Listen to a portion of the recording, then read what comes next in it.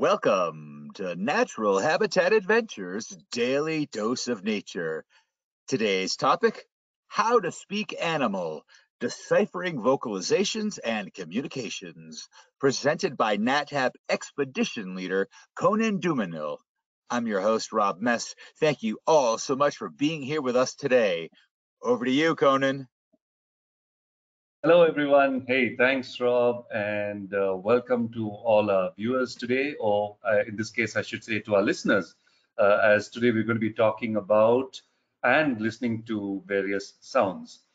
Um, well, this series, uh, Bush Science with Conan, is something that I've, I've kicked off now, and um, what I intend to do with this is take you beyond that safari or wildlife watching experience and uh, delve a little bit into the ecology and science behind uh, what we see happening in the field. And as a start today, I'm going to be talking to you about animal uh, communications. Now, before we get into the topic, uh, a little bit about myself. Uh, I've been guiding trips for close to 20 years now around the subcontinent um, of India, Nepal, Bhutan, Sri Lanka and um, really grateful to have had some uh, been to some spectacular places, had some fantastic encounters with wildlife, uh, and seen some truly remarkable natural history moments. Uh, however, one of the most significant uh, sort of passages of time or significant experiences um, I've had is not being on on a, a, safari where we've had some awesome, uh, you know, tiger, leopard sightings or you know, big mammal action or uh, for that matter, in a remote corner looking at some really uh, spectacular birds. Uh, but instead, it, it, comes from a time where I spent time in the jungle uh, with a microphone. Now, uh, to tell you a little bit about that, uh, it was the year 2006, pretty much to the day, I would say, sometime about the same time of the year. I was recruited by a firm to uh, to take audio recordings of various animals and go around the jungles of India. And I spent about 45 days uh, in in the jungle with a microphone and, and recording equipment. Uh, now this was before the time of cameras, uh, so I don't have a picture myself. So I'm using a stock image to sort of represent that. Um, but yes, but that that particular period of time, um, you know, sort of counterintuitively uh, opened up my eyes to a whole new world and it was only then it was then when i found myself not looking through a camera lens or through the binoculars that i really noticed how rich this experience can be and how much you learn by keeping your ears open and letting that sort of work on your mind a little bit. So today i just wanted to share with you um, you know some of my experiences and also some of my learnings that i've had from the natural world into this in this world of, of sound and what you can do by you know just keeping uh, your ears open or paying a little more attention to your ears um, and and not just through your eyes. You know humans we are very visually oriented species. Uh, our whole you know adventure is actually built around what we can see and experience and have that experience through our eyes. But there are various senses in which we can engage uh, with the natural world. And hearing or sound is definitely one of them. So I just want to open up uh, a little bit into this fascinating world of animal sounds and how they communicate with each other. Now, before we start, uh, I just want to lay uh, some facts or some some points here for for a little bit of perspective and a little bit of context. Now, in animal communications, uh, we've seen uh, studies rather have shown that uh, natural selection seems to favor callers who produce these sounds and uh, affect the behavior of listeners and uh, and also to listeners who acquire this information uh, from sound. So there is a there is a transfer of information that goes across, and uh, we've seen animals that can actually produce or listen to sound um, is actually favored uh, into the larger scheme of things. Now, animal sounds have a lot of parallels with human sound or with human language. Uh, probably the biggest distinguisher in animal communication from human language is perhaps, and again, I say this uh, with some trepidation, and perhaps, uh, and to a certain extent, uh, the inability to recognize the mental state of others. Uh, now, there are exceptions to this, of course. And then the third thing I just want to lay out there is, you know, animal sounds, much like ours, again, can either be referential or emotional. And again, a big difference between here and uh, with with animals and with well non-human animals and us humans. Uh, humans, we are quite limited in how we communicate. Uh, we see, but we see a variety of communication mechanisms, and herein lies the key uh, to what we're going to talk about a lot today. Uh, we see a variety of communications in the animal world, and today we will uh, focus on the auditory sense alone. And when we talk about animal communications, we're talking about not just sound, but also chemicals, visual um, patterns, color, and so on and so forth. But for today's presentation, uh, we will focus uh, specifically on sound. And we'll look at how animals use acoustics uh, to communicate not just with their species, but also between species as well. So let's talk about animal acoustics, right? How are they made? What do they mean? What purpose do they serve? And when we talk about auditory communication, uh, and it is a form of communication, um, I've basically broken it up into four main categories for the sake of this. And, and uh, what I would like to do is go into each of these areas and reference them, talk about how they produce, some interesting facts and tidbits behind them, and also relate to the sounds because we are, uh, in most cases, are familiar with these sounds. We may not be familiar with some of these species, but we are we all know sound.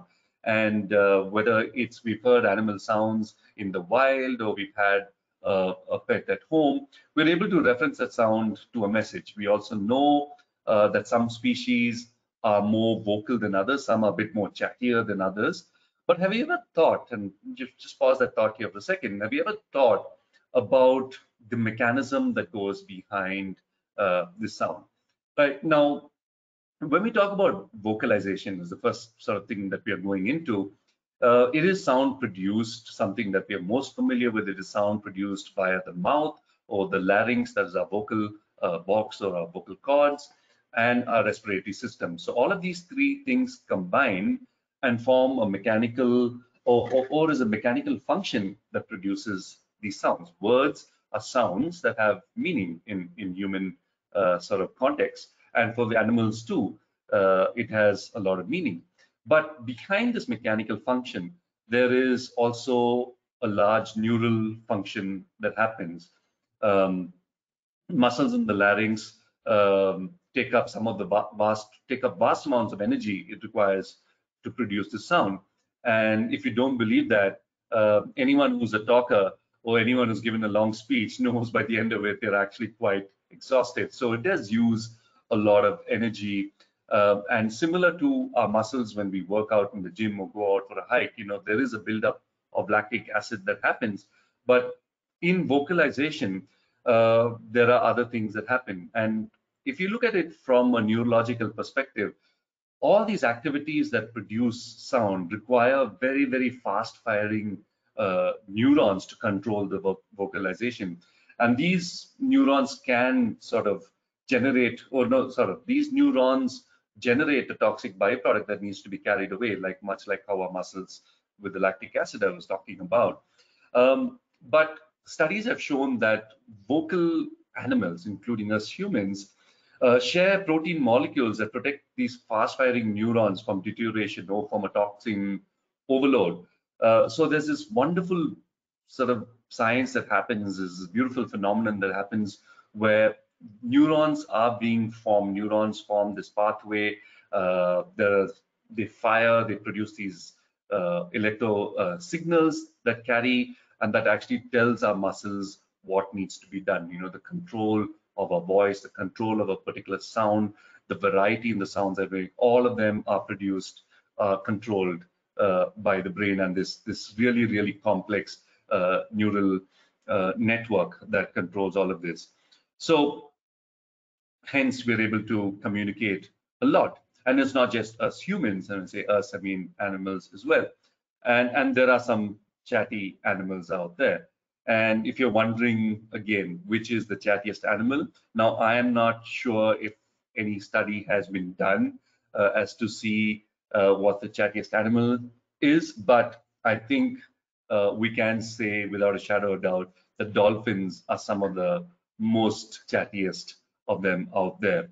Um, they will be probably number one contenders for that title. Now, dolphins, much like us, have a very, very uh, complex set of vocalizations, and enough study has been done on them to show uh, that it is so complex uh, and it is so varied that it can actually constitute a language uh, by itself. Now, bottlenose dolphins in this case uh, have even evolved specific sounds for individuals. And I'll let I'll pause for a moment there uh, to let that sink in. When we say a special sound for an individual, if you connect that into the human context, that amounts to a name for a person. So much like us, we have specific sounds, which is a name attributed to a particular person. Dolphins have evolved that, and it's it's mind blowing just to be able to to think of that. Um, and you know, all of these vocalizations, apart from just name calling or identifying or, or communicating with individuals, they serve a, a variety of, of purposes. Um, and before we start uh, getting into those, let's hear some dolphin sounds.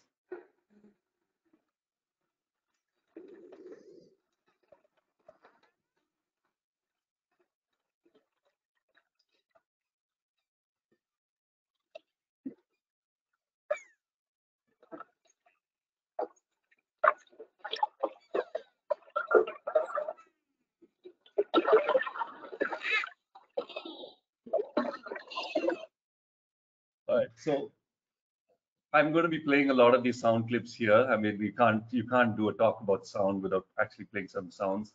And I had to put the dolphin thing in there because I think they're the one of the most pleasant, sort of pleasing uh, sort of sounds you could hear. Uh, rivaled up there with probably the most beautiful of, of songbirds uh, anywhere up in the natural in the natural world. Um, and, and we're going to be listening to a lot of clips along the way today.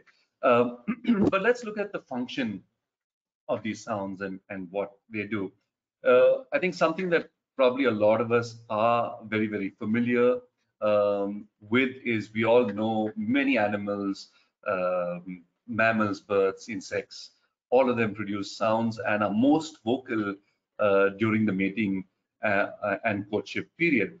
And no other mammal, I think, uh, symbolizes a very, very vocal mating or a courtship uh, like lions we see here. This is a fantastic picture taken uh, of this pair of lions uh, by a good friend, uh, Richard, who guides our Africa trips. And um, though the sound recordings were not his, I, I, I pulled them off um, from certain sites.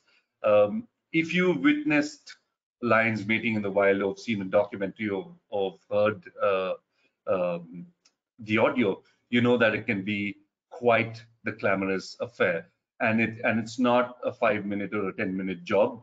Uh, meetings in big cats can go on for for days on end sometimes five or six days up to a week and at multiple times uh, sometimes even up to 30 times a day uh, in case of lions. And this can be a long out affair and these affairs uh, pun intended uh, can be very very vocal um, so in case you ask, all right, Conan, what does a lion uh, courtship or mating sounds like? Well, guess what? I have a clip for you.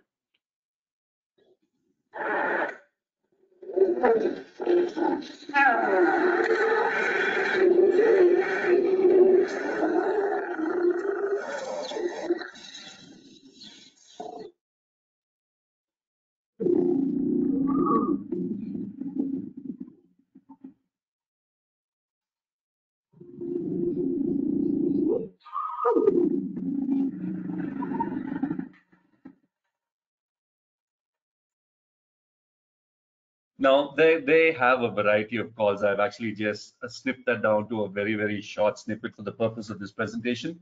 Um, but it can be very, very rock, raucous. It's some uh, sometimes deafening almost. And uh, there's also a variety of these low, sort of almost subsonic growls uh, that that take part. And and if you and if you're familiar with lion behavior, so usually it it uh, it, it uh, starts off with a female uh, showing her intention, a male who comes onto heat then will approach the female.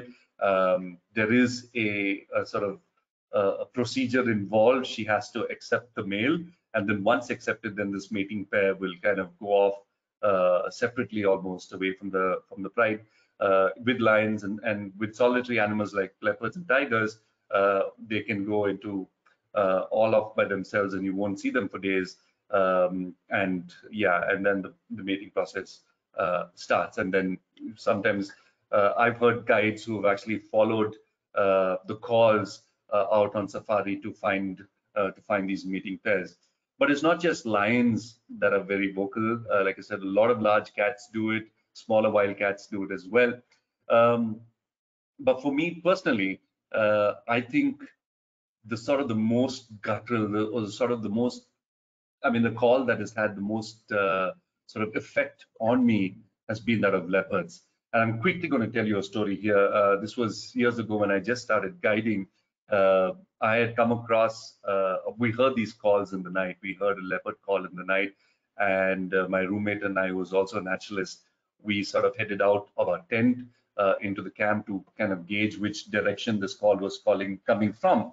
And then we heard it coming in one direction. So we kind of walked out of our camp a little bit with our armed with our torchlights and a very stout stick.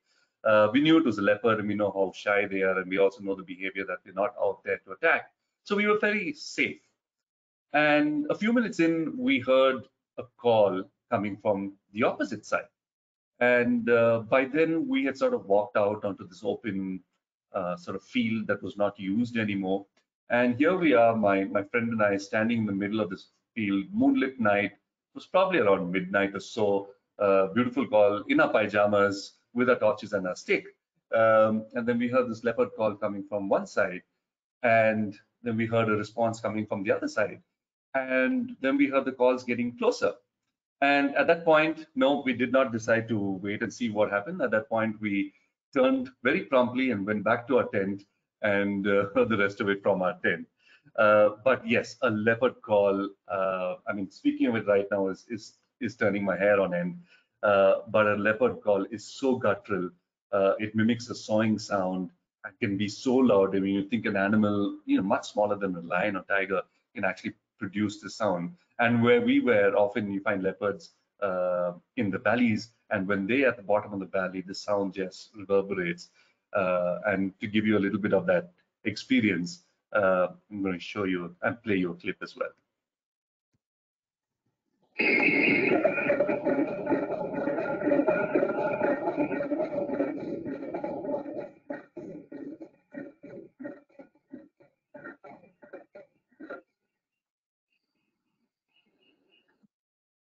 So a lot of people describe this sound as a sawing sound.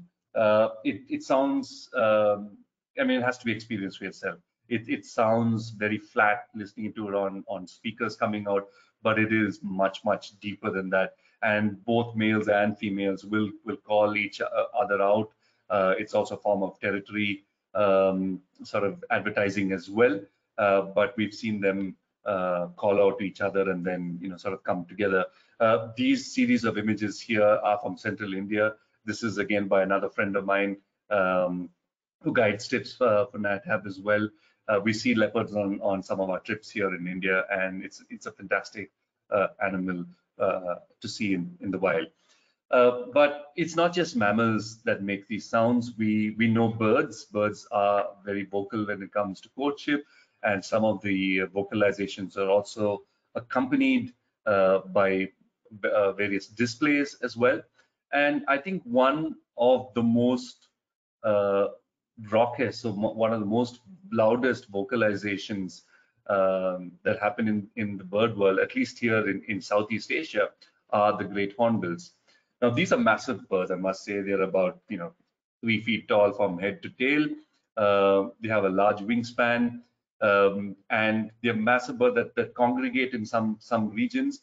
And the male and female actually bond, uh, pair bond for life. And here you see this, it, this is a pair. The male is on the left, the female is on uh, the right.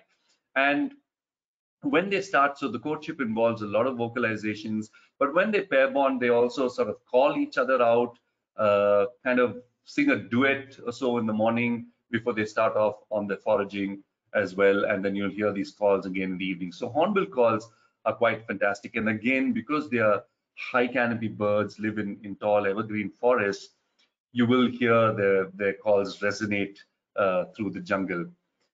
And I'm just going to play a sound for you as well. Yeah.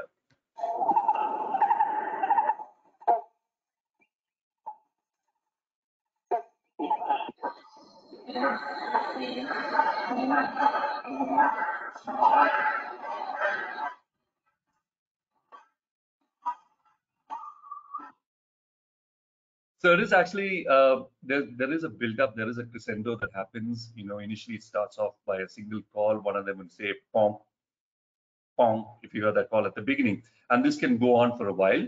And uh, when they come together, then it becomes more cacophonous, and it goes like quack, quack, quack, quack, quack, quack, and there's a lot of you know posturing that happens between the two. And usually by the end of the call, it results in them you know sort of taking off to uh, the area where they want to go forage. And like I said, so they're they're mainly uh, high canopy uh, uh, dwellers before they uh, they make these calls. They also like mature forests because they like to feed off figs and other fruit.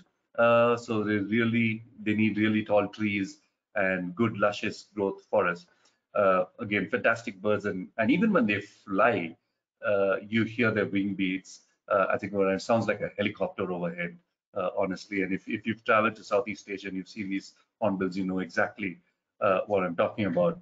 But if you thought the hornbills were loud or the lions were loud, wait till you meet this next guy who we have. Now, this this chap is from a world away. He's in sort of the northern parts of South America. And the bird we're talking about, oh, excuse the typo, I just noticed uh, this is not the great hornbill. This is the white bellbird. Excuse the title there. Um, these guys can be really, really loud. Now, they have specific adaptations uh, in their body to produce a sound, and their sounds have been clocked at, believe it or not, 125 decibels, which means really, really loud. And to give you some reference of scale, uh, there's a little graph down there which will give you. So a human voice right now uh, for your thing, I have marked myself. I am speaking at around 48 decibels at the moment, and this is 125.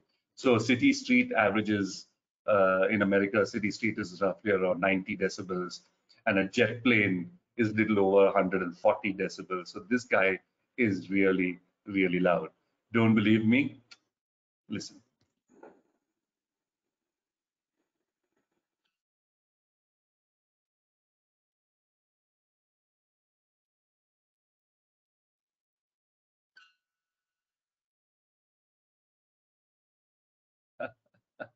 Now, this again is, is a coating call, and scientists who have observed uh, these birds uh, have often wondered how the females actually respond without turning deaf. Uh, because what the, the white bellbird does, it sits right next to the female, or female comes and lands on the branch, and uh, then he utters this call, and he's got this weird little head toss thing. And, and that head toss with the little wattle dangling in front according to researchers say that that kind of is the indication that he's about to let his call go. And it is noticed that the female just for that one second turns away where he lets the call go and then she turns back. So she doesn't get the full blast uh, in her face. And i think that's just nature's way of kind of you know balancing or evening uh, evening the odds right there.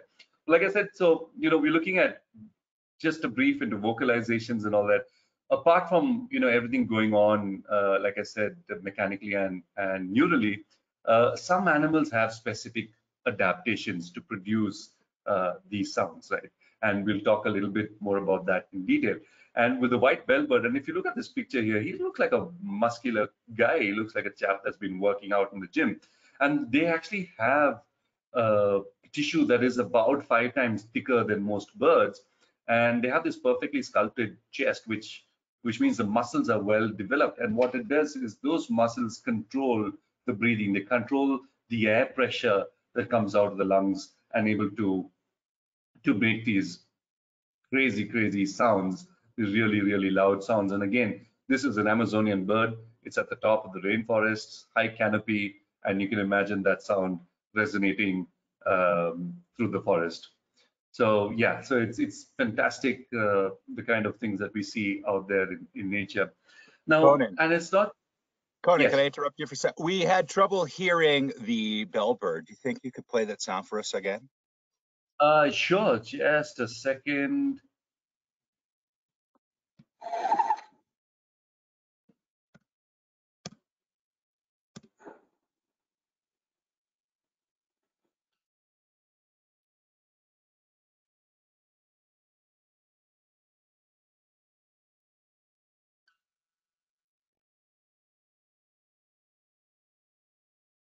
Do you hear that time?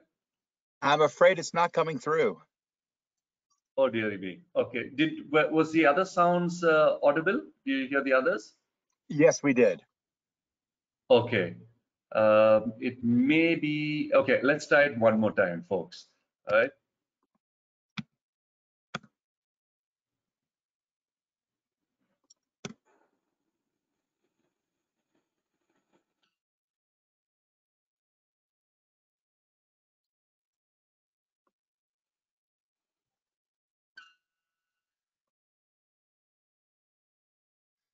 I hope it worked this time.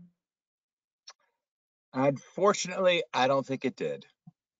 Okay, I'll tell you what we'll do. I have a recording which I will try and find on my phone.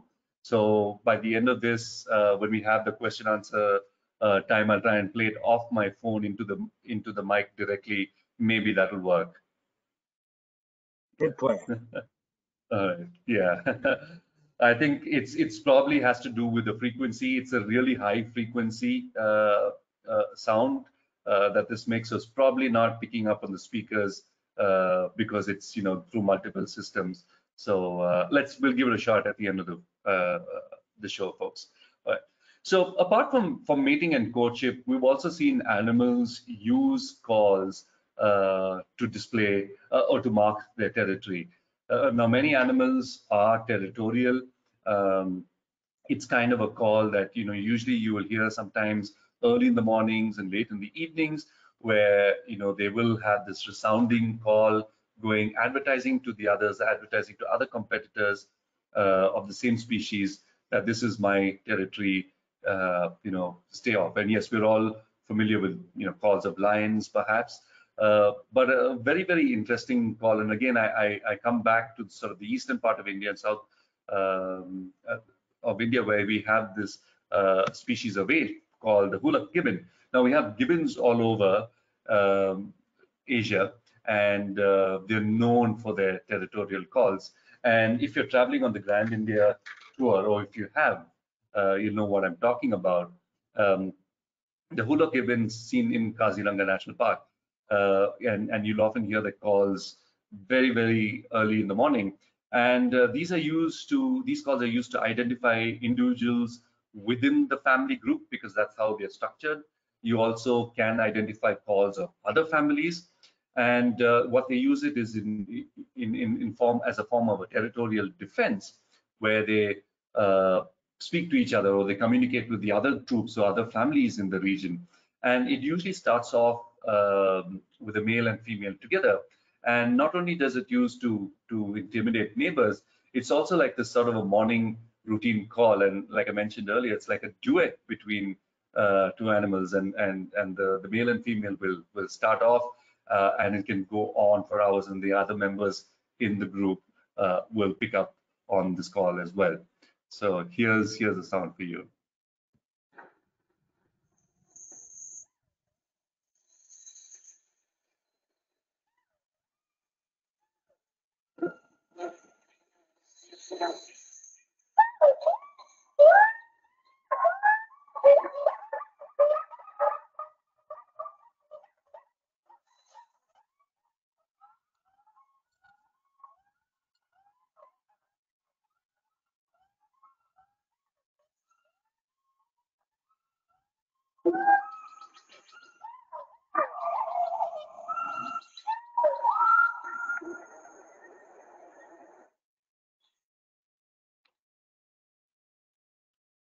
I hope you heard that one.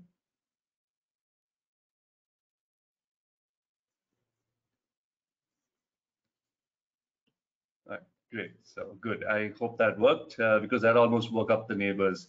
Uh, yeah. Um, but yeah, so apart uh, apart from this, uh, we've also seen vocalizations uh, that are used for for social learning. Now, when I say social learning, uh, think about you know working uh, as humans. You know, when we we work with uh, with babies, we talk to them, we speak to them, and this is not a, phenomenon that is unique to humans and is also unique to a lot of animals as well. And in a species that you would probably least expected, and that that is the zebra finches of Australia. Now, tiny, tiny little birds, very, very gregarious, very, very social birds. They're always in flocks. Uh, they're actually very, very popular in the pet trade because they're easy birds to keep and they're constantly chattering uh, with each other. But um, scientists have actually studied the vocalizations uh, in, in zebra finches, and they found that these vocalizations are actually fundamental uh, to the, so, the social interaction between these birds. Now, with a lot of birds in their flocks, uh, they're usually one particular uh, family, and they have noticed in zebra finches that the young ones actually acquire uh, the speech and, and languages from uh, the adults as well. And in in uh, in in these sort of in interactions we've seen, and not just finches but other songbirds have shown this uh, as well.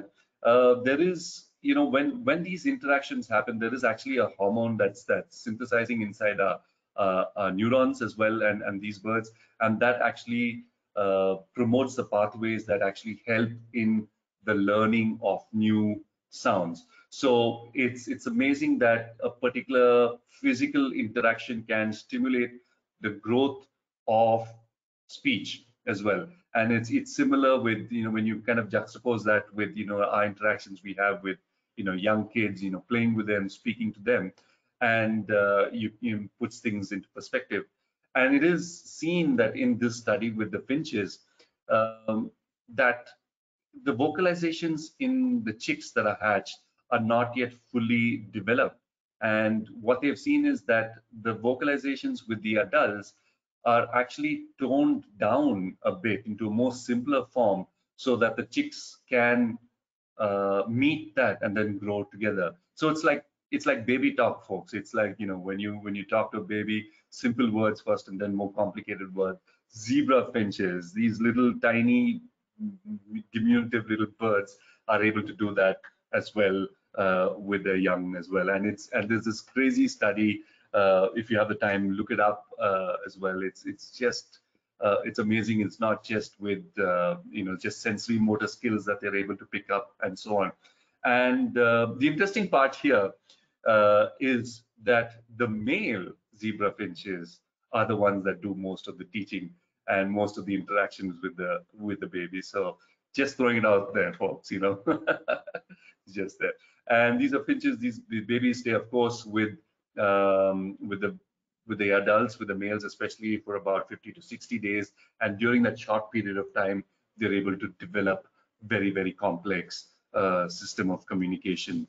Uh, and it's it's crazy. You know, individuals have their own sort of pattern, speech, and tone, uh, even which we generally thought only uh, belonged uh, to humans. So yeah, it's it's a fascinating world out there, folks. So apart from social learning, we also see vocalizations, uh, and we know with bats, they use vocalizations uh, to identify and um, food sources. Uh, it's, it's an integral part. Their eyesight in most species of bats are not very, very well developed, but what they have is a very, very complex sonar system, which is, you know, the inspiration for how submarines navigate underwater uh, is from comes from bat uh, sonar as well. So they produce these high-pitched sounds. I'm not going to play any uh, sound clip here because you cannot record uh, the high-pitched bat sounds. But we do hear slightly audible frequencies as well. If anyone has been around bats, they know that they have a range of frequencies.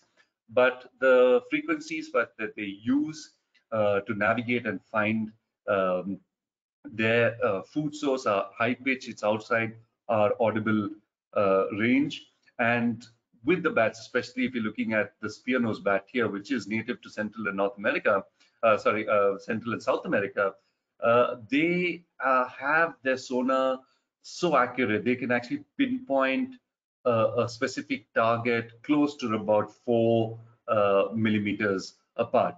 And, and they can distinguish in terms of time, uh, it's somewhere about 20 microseconds apart from each other. So there's this rapid uh, emitting of sound. 20 microseconds is you you cannot fathom that with with the human brain uh, and they're able to produce are able to map uh, their area just by these sounds uh, that they make. Now that's identification of food. And on the flip side of things the prey species the food in a lot of uh, the animal kingdom also have their own little alarm system going. And you know for a naturalist uh, that works, uh, especially if, if, you're a naturalist working in India. And I say this a lot, you know, when we're traveling here, we talk to our guests. Uh, we don't often navigate by sight. We also navigate by sound when we're, you know, doing our traverses of the Indian jungles. And one of the sounds that, you know, sort of gets every naturalist up on their feet, get them excited, uh, is the sound of an alarm call uh, in the Indian jungle. And uh, you must ask what an alarm call is. So prey species have evolved a way to signal to themselves between their species and also between uh, between other species as well, interrelated species. Uh, they have the system where when they see the sign or smell or hear the movement of a predator, they will give an alarm call out. Now, there is a hierarchy and alarm calls as naturalists uh, uh, guides we, we use. You know, some alarm calls are more reliable than others. The muntjac, for instance, if you see on the bottom right of your screen, uh, also known as the barking deer, because they uh, emit the sound of a sounds like a dog barking. Uh, these can be less reliable calls, and then when you have an alarm call of a monkey, which is a uh, which calls on sight, you know that they're actually looking at a predator and something is nearby. And in our case, it usually means a tiger or a leopard. So if you're tracking tigers or leopards, uh, in in the jungle, you need to uh, wait for the alarm calls. You need to hear the alarm calls of these animals. And as naturalists and guides, as you know, as much as the prey species emitting these calls, you can judge by the intensity, uh, the volume, uh, the frequency of these calls. You can judge how close, uh, if a predator is actually there or has moved away, moving towards whether you're in danger or not. So not just for the animals, but as naturalists as well, this is a great uh, sort of uh, frequency to tune into when you're in, in the wild. Let's hear.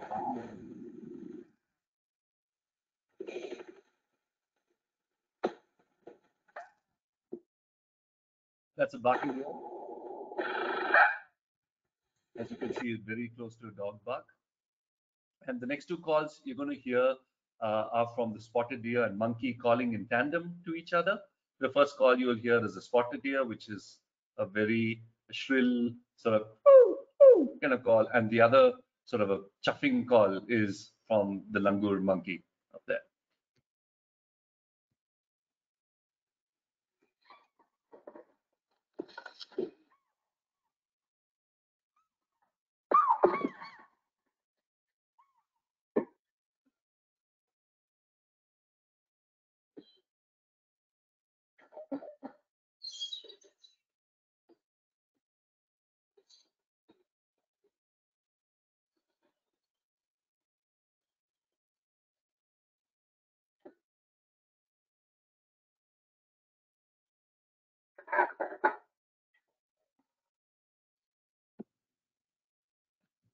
So that's that's a call. Uh, often you'll have you know drivers guides slamming the brakes because if they hear that, that means there's something really nearby.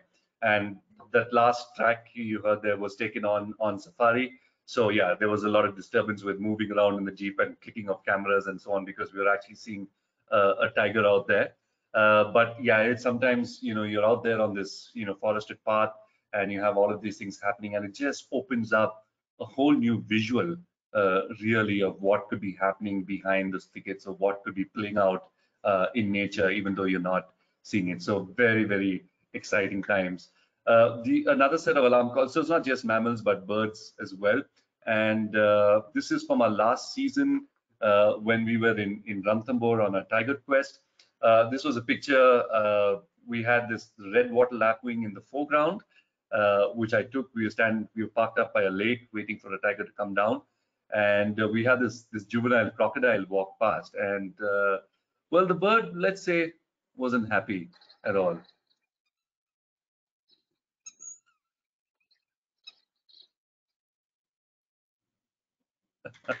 That's just a short clip. Um, yeah, so they, they're also known as the did you do it bird because that's how their call sounds. And these are ground nesting birds. So any predator, any any danger, sometimes when you walk too close to them or drive up too close to them, they start making these alarm calls. So you have to be watchful as to not step on the nest because it's a little hollow, sort of a little cup-shaped nest in, on, on the ground as well.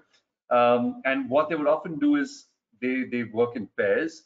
So one of them would feign a broken wing and they would kind of lead the predator away from the nest. And while the other one sort of dive bombs and sort of big, a lot of uh, distraction and, you know, aggression that they show even for predators much, much larger uh, than themselves. Right. So moving on into our next section, uh, it's not just vocalizations that that produce sound, but it's also another form, more mechanical form called uh, stridulation. Now, a lot of you may not know the term, but you would have definitely heard this sound.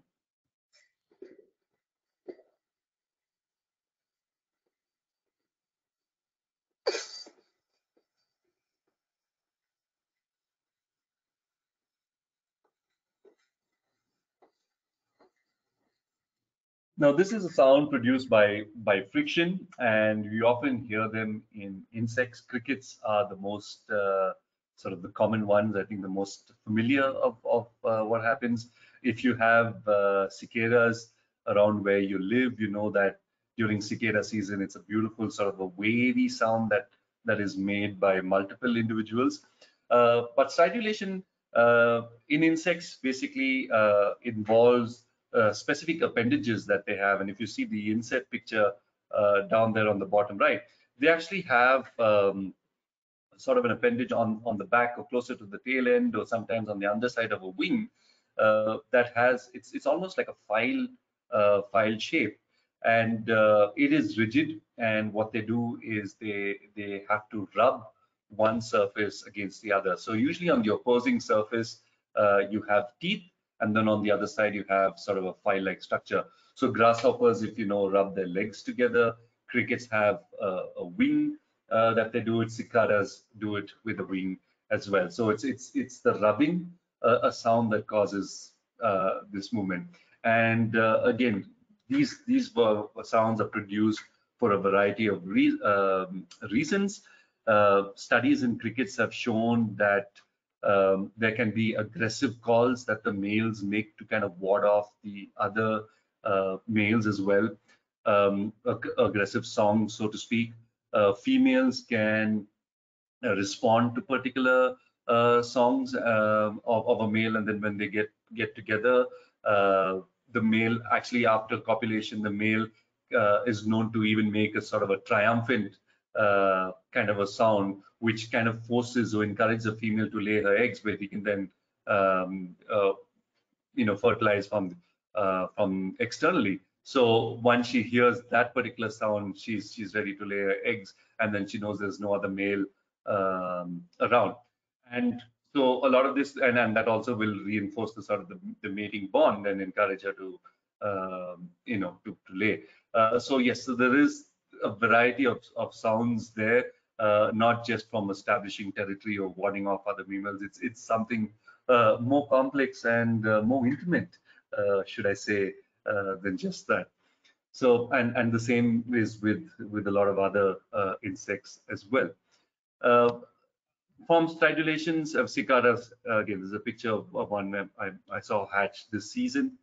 he's out there. Uh, and they have beautiful lace-like wings, and it's there is a there is a uh, the appendages on the back and they rub their wings together on that. So apart from from stridulation, we uh, there is also vibration that produces sound and where they use Uh, animals use a specific organ uh, to make these sounds. And you might be familiar with with some animals, you know, low growls in elephants actually emit from their stomach and their trunk, not so much from the vocal cords. But uh, you would never expect the animal that's coming next that produces quite quite the interesting sound, I must say, and that is uh, the toadfish. He's not the uh, he's not the prettiest bloke on the uh, on the block, um, but they are such fascinating animals. Now, toadfish are found actually all along your eastern coast in the United States. They're bottom dwellers. They love feeding amongst rocks. They eat worms, crustaceans, mollusks, and other fish as well.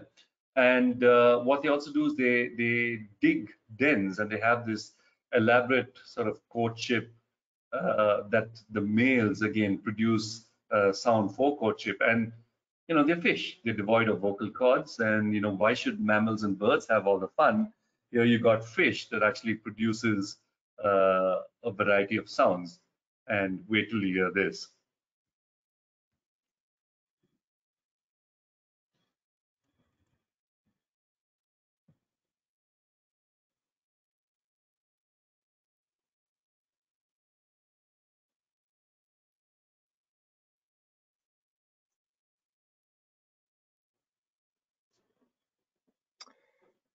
We are not hearing anything, Conan.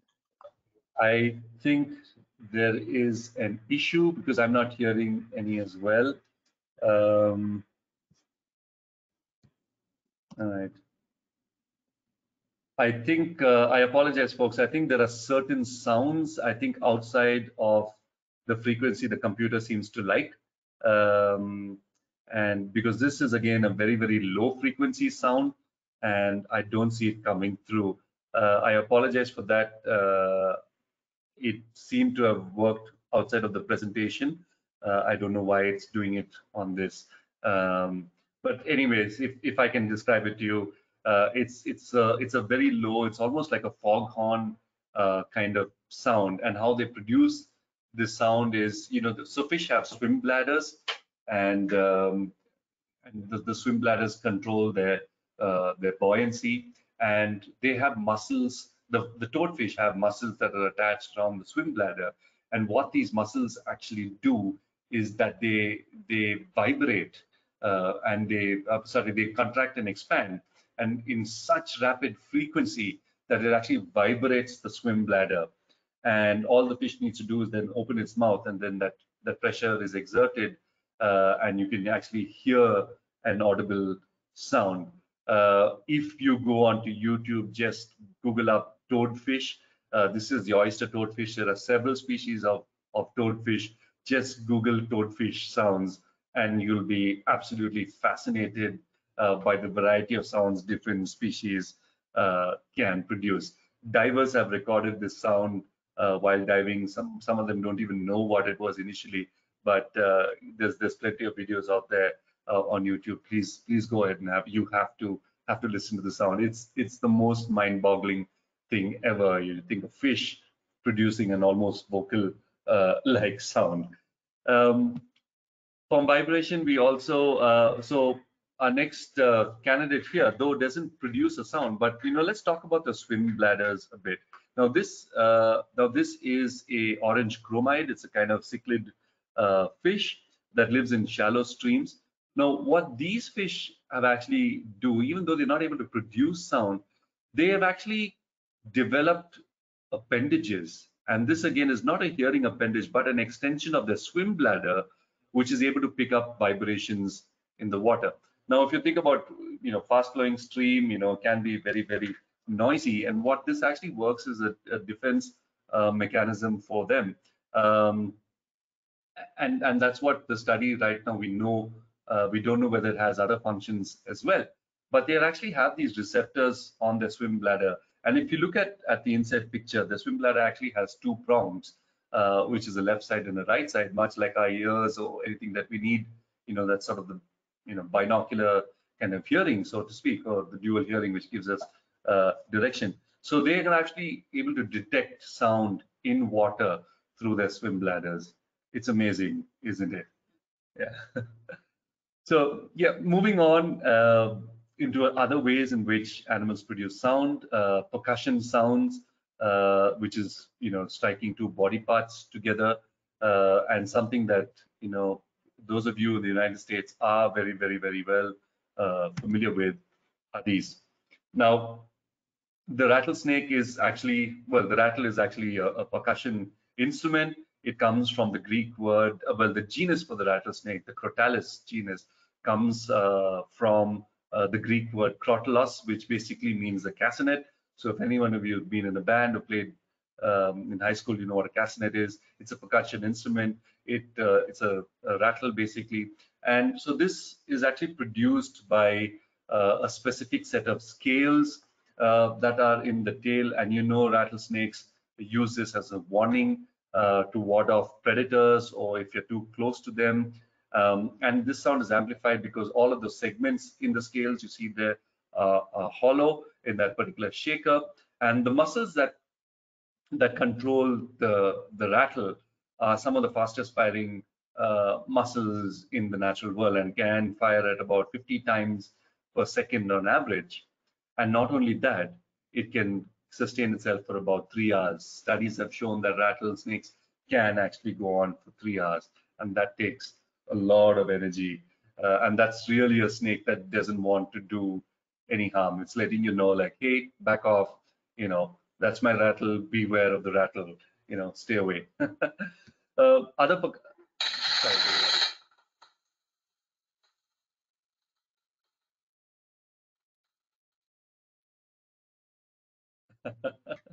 other animals, uh, other percussionists in this group uh, include uh, the shoebill. Now, this is a fantastic bird. I mean, it's such a weird looking bird. It's from Africa. It's uh, it's a type of stork uh, or a shoe called a shoebill stork. Um, and uh, it's not only a weird looking bird, it also has probably one of the weirdest sounds in the animal kingdom.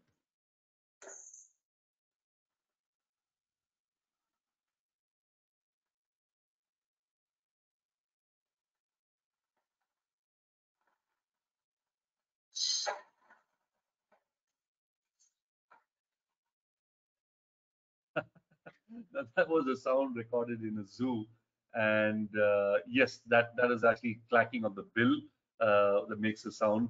And if that machine gun type fire wasn't loud enough it's also got this really hideous sort of howl that it lets lets out. So it's vocalization and percussion it can be a band in a band all by itself. Uh, and and again that that sound is is crazy.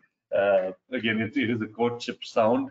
Um, i mean one would only think Uh, who would find that sound uh, in, inviting. Uh, but yeah, it's, it's also can be used as a warning as well and a territorial uh, call as well. Uh, also, mammals use percussion as well, and probably none better than gorillas.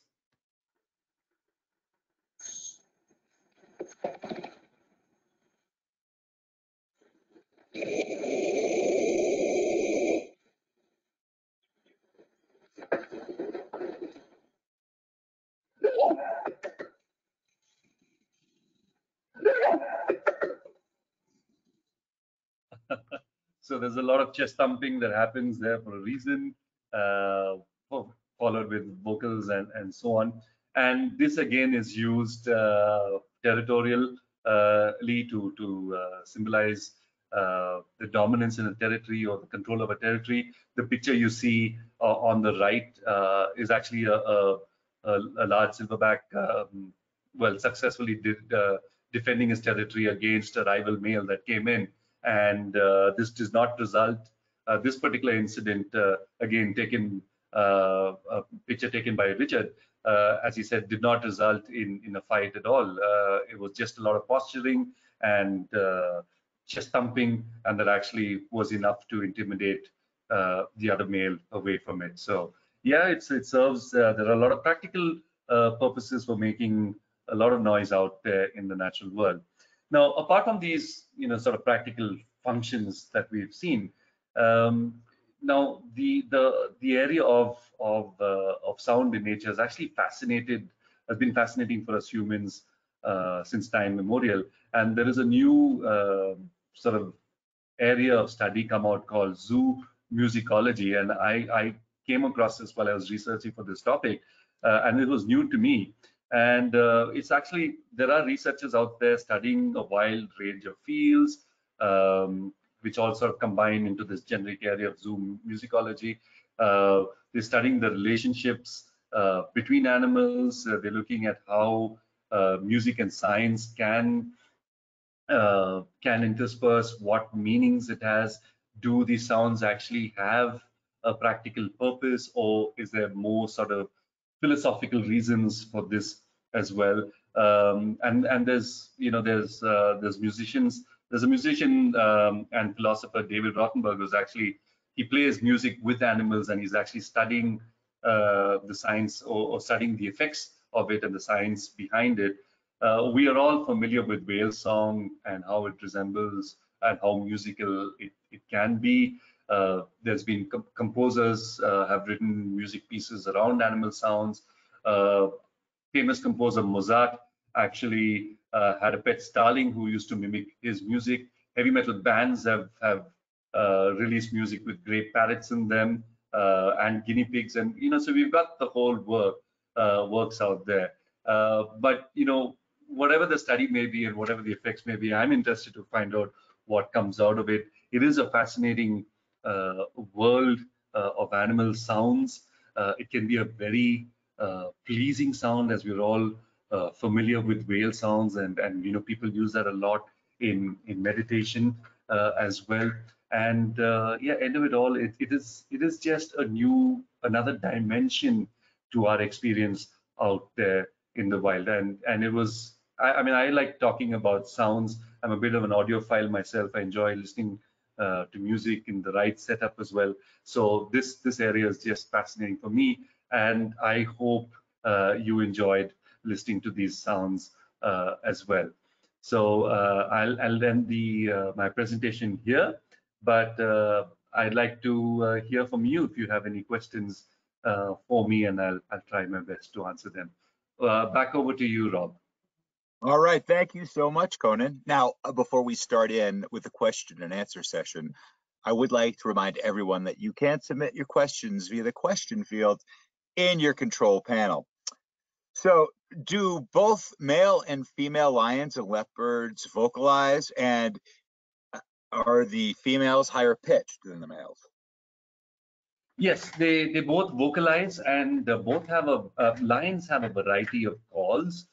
Um, I am not sure, and I and I think I can safely say that leopards don't have uh, as large a repertoire because it's just the contact calls that they make initially.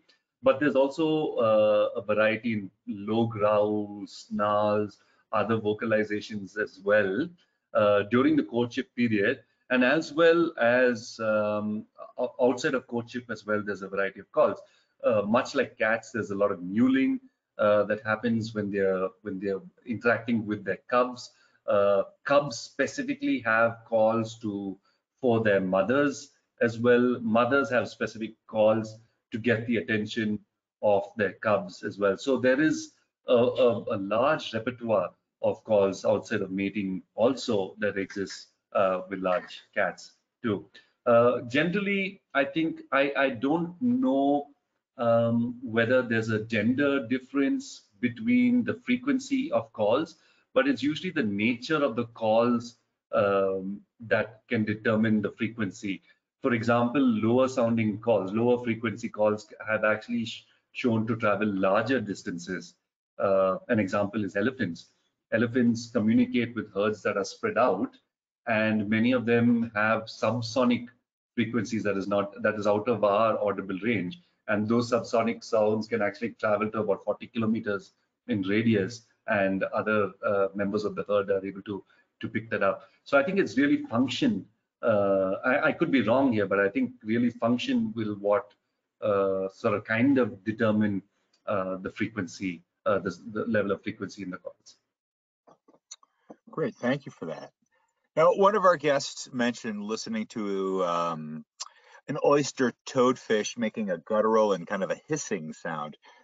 What do you attribute these sounds to? So it's it's fascinating that uh, see we we don't know exactly what sound means what uh, because it's just now that you know that, that's where you know the world of science is is so vast and it's it's opening up now and I think as we get more and more uh, it's actually the availability of information is a lot more now so which means there are a lot more people now studying various things and I'm just interested to see if someone can actually decipher a language of what the toadfish makes but right now, what they have known is that most of these sounds are emitted during courtship. Uh, they, they, they have hissing, that is true.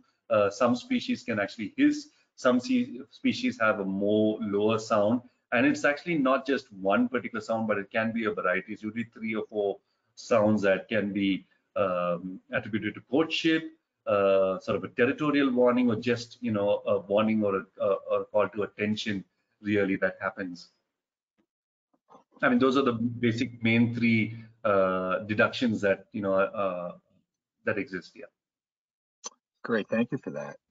Another one of our guests had been reading reports of baby talk among dolphins that they talk to their their children, their offspring, in uh, a different tone. Is is that common? Is that something that is true?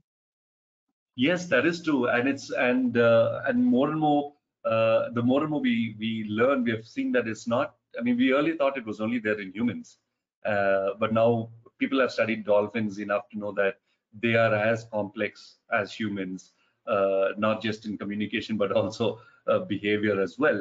And many animals, excuse me, many animals have specific tonal differences uh, when it comes to their own offspring or offspring of the sort of group or, or, or litter.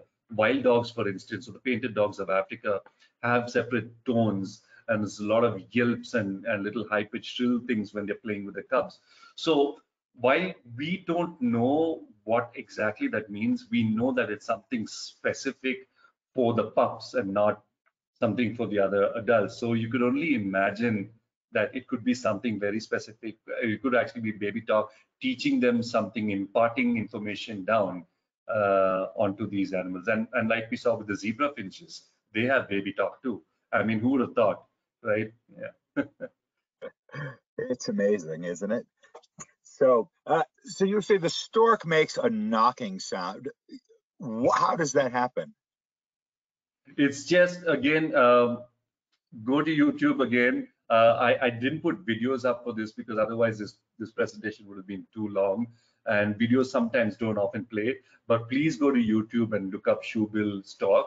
Uh, they actually clack their bills and they sort of walk around parading themselves. Uh, and that, that clacking of bills again is so rapid it almost sounds like a like a machine gun uh, firing. And in the middle of all this clacking, they also make these little howling sounds uh, vocally as well it's it's crazy. You have to see the video uh, to actually believe what's happening there. well, great. Thank you so much, Conan. Unfortunately, that's going to be the last question that we do have time for today. So I'd like to throw right. it back to you for closing comments. All right. Uh, before I close, I am actually going to try uh, to see if we can do the bellbird. Uh, again, I have it on my uh, phone and um, all right, so here goes.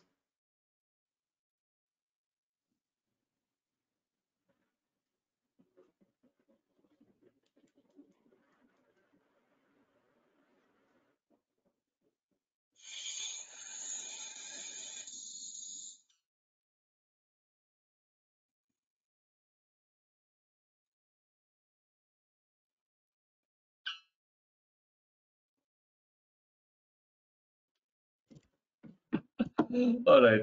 On that note, uh, I, I, mean, I just want to say that uh, you know, while we all enjoy the uplifting sounds of you know songbirds or the soothing sounds of whales, uh, I would just say, you know, the next time you're out there in nature, let's try and stop and and listen and try and understand what sort of goes behind the sound.